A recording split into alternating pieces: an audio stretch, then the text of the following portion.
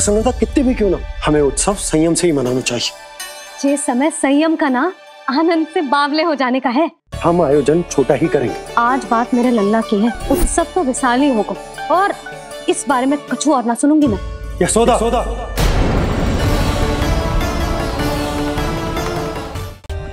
For more updates, subscribe to our channel, click the show links and enjoy watching the videos.